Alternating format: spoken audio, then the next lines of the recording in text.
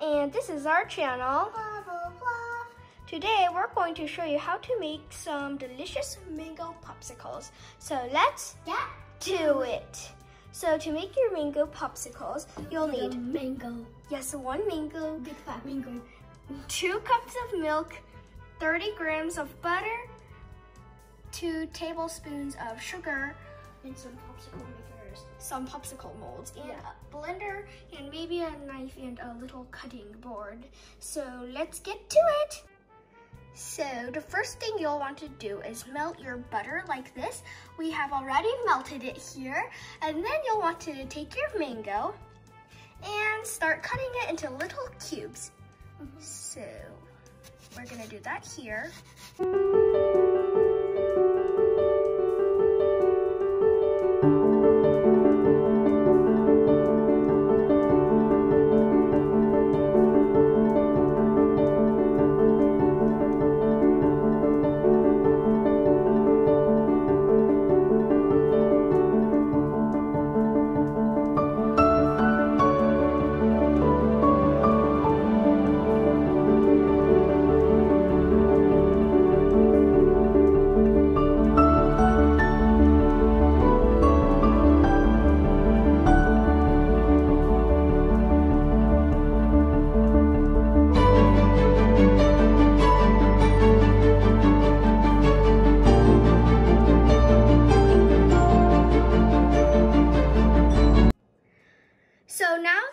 Have cut up our mangoes, you don't have to do them in cubes. We just think cubes are the easiest. You will want to put them in your blender. That's so satisfying.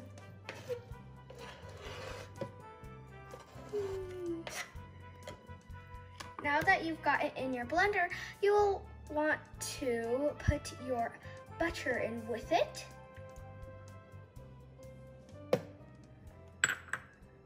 Now your milk.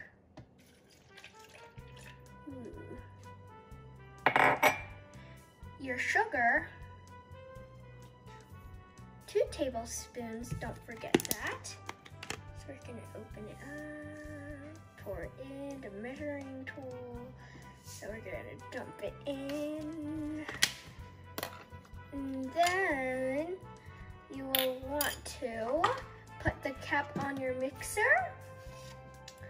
Put it on the mixing stand, press a button, start mixing!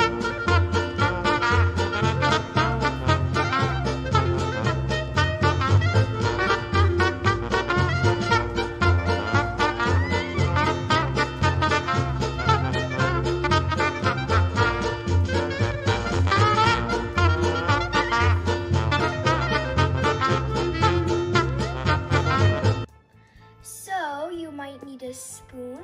You are going to check for some lumps in your mixture. So we're gonna open the cap, take the spoon, see if there's any lumps. If there are, we're going to blend until there are no more lumps. See, we got a lump.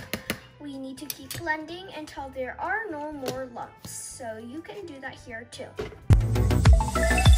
So now as you see, we have no more lumps. So now we are going to pour it into our popsicle molds. So we are going to do that here.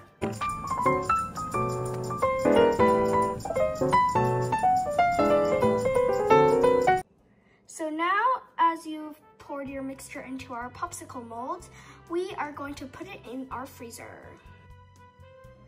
So you will need to freeze your popsicles for at least five hours. And then when they are ready, you may pull them out and enjoy.